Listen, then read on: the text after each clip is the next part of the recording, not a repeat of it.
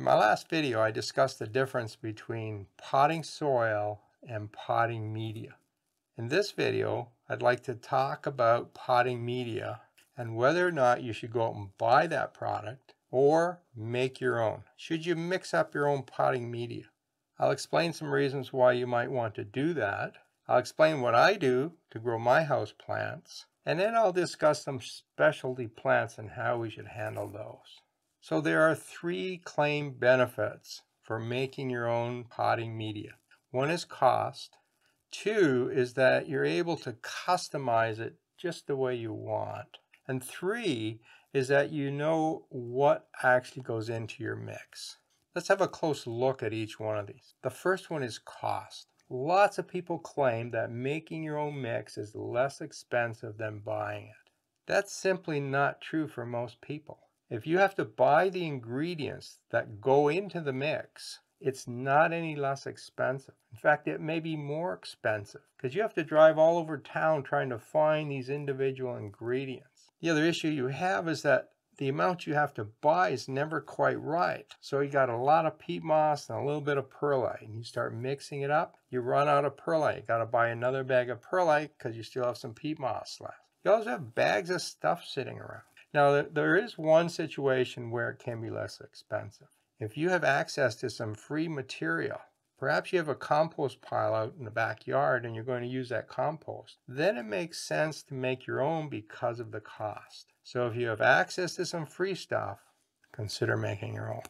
Now, what about customizing? Well, the idea here is that you can make the mix whatever way you want so that it's perfect for the plants that you're trying to grow. And that's actually a valid claim. But there's one catch. How many of us actually know enough to make that perfect mix? Now, I've been growing orchids for 35 years, and I know how to grow orchids, and I know how to make an orchid mix. I have the knowledge to do that.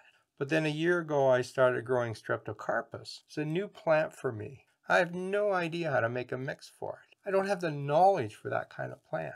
And quite honestly, I don't have the knowledge to make a mix for most house plants until I've been growing them for a number of years. And I'm going to guess that for most gardeners, you simply don't have the knowledge to customize that mix. Now you can go online and you can look up recipes and it's a good idea to do that. And one thing you'll find is that every recipe is different.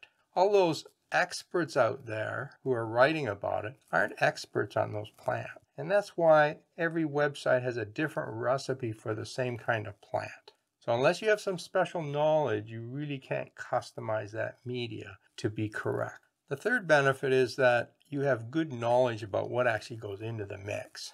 And that's a fair statement. I mean, you can go out and you can buy the perfect kind of sand and you know what kind of sand is in the mix. Whereas when I buy it already pre-packaged and mixed, I, I don't know what kind of sand that is. But again, you have to have the knowledge to do this. If I'm in the store and I see two different brands of perlite, I don't know which is better.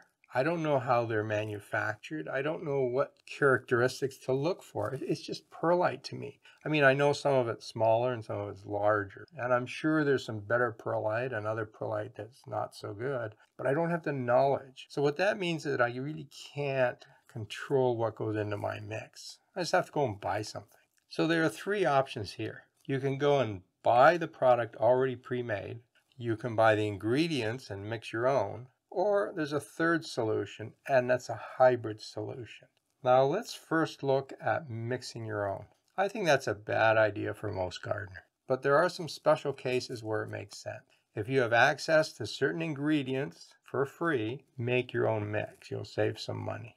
If you have specialized knowledge about a certain type of plant, make your own mix because you know what that plant needs. But if you have neither of those things, don't make your own mix. You're not going to save money. That's a lot of trouble. And the chances of you coming up with a better mix than you can buy pre-made is pretty slight. So what I recommend is that you go out and find yourself a good quality pre-made product, a standard all-purpose potting mix. Now in North America, that generally is peat-based and it has some perlite in there, maybe a little bit of sand and a little bit of fertilizer. But the main ingredient is peat moss. That becomes your base mix. And quite honestly, you can use it for 95% of your plants. Most house plants will grow just fine in that mix. You can start your seeds in that mix. Your seedlings can be grown in that mix until they're ready to go outside. It works for almost everything.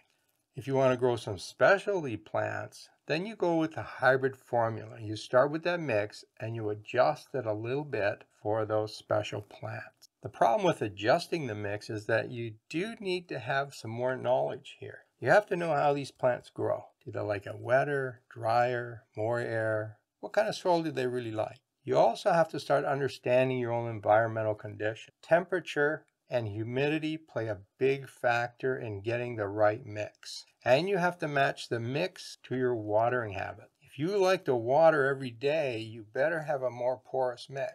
If you tend to forget about the plants and don't water, you can have a mix that holds water longer. The environment is critical.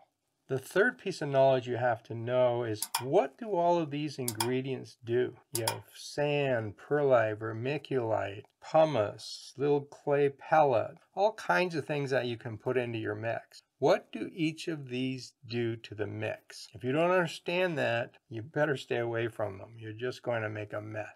All right, Let's look at some special cases. As I said, your base mix, the base product you buy works for 95% of everything. But there are some special cases. Orchids are number one.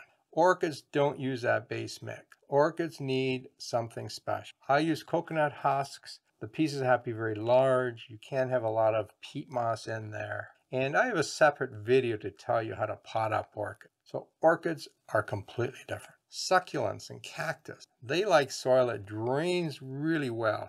They like to be on the dry side. So for them, what we do is we take 50% of our base mix and 50% of sand or gravel, something that will help them drain. Now you can use perlite in there, but succulents seem to like that sand. So 50% base mix, 50% sand, that's your specialty cactus mix.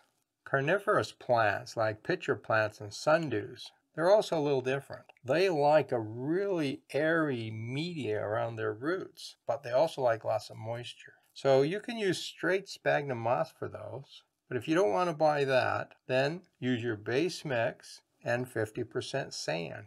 And it turns out that mixture works just as well for the plants that like to be very moist and the cactus and succulents that like to be very dry. The difference is, for the cactus, you only water once in a long while, so they dry out. For these plants, you water a lot because you want that media to stay wet. The other group of plants that you might consider mixing something special are plants that like to be on the dry side. And this is particularly true if you tend to overwater, which I know most of you do that. So things like African violet, streptocarpus, the palms, the citrus trees, they like to be a little on the dry side. So we take our base mix and 20% perlite or sand.